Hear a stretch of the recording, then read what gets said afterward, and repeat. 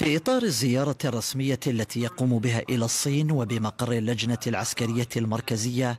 كان للسيد الفريق أول سعيد شنقريحة رئيس أركان الجيش الوطني الشعبي اليوم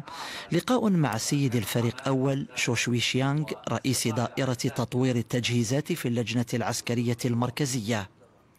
خلال هذا اللقاء الموسع عبر السيد الفريق أول سعيد شنقريحة لمضيفه عن بالغ امتنانه بهذا التشريف الذي حظي به والوفد المرافق له.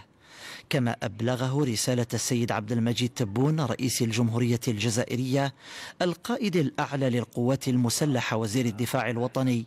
إلى نظيره الرئيس شي جين بينغ وللشعب الصيني الصديق.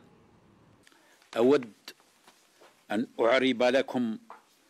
في المستهل عن خالص تشكراتي وعميق امتناني على حسن الضيافة والكرم اللذين حظينا بهما منذ وصولنا إلى جمهورية الصين الشعبية الصديقة. وبهذه المناسبة أحمل رسالة صداقة من طرف السيد عبد المجيد تبون رئيس الجمهورية الجزائرية القائد الأعلى للقوة المسلحة وزير الدفاع الوطني إلى نظيره الرئيس شي جين بينغ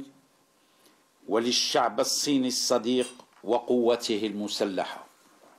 كما أود التأكيد على تقديرنا العالي والمميز لنوعية العلاقات التي تربط بلدينا والتي ارتقت بفضل إرادة وحرص قائدي البلدين على الرفع من جودتها ما مكن من تعميق وتوسيع شراكاتنا الاستراتيجية حيث كان للزيارة الأخيرة للسيد رئيس عبد المجيد تبون إلى بلدكم الصديق بدعوة من الرئيس شي جين بينغ الأثر الطيب في تعزيز العلاقات التاريخية الجزائرية الصينية حيث نجحت هذه الزيارة أيما نجاح وتكللت بإمضاء تسعة عشر اتفاقية ومذكرة تفاهم في مختلف المجالات بما فيه مجالي الأمن والدفاع. إن نوعية العلاقات التي تربط بلدينا وجيشينا تدعونا اليوم أكثر من أي وقت مضى إلى المضي قدما للعمل معا على تحديد إطار واعد وطموح لفائدة الطرفين